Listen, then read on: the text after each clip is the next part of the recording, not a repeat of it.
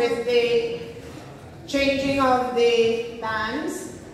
Um, we're now going to resume again and we have CIS on stage, key stage 3 band playing Into the Clouds.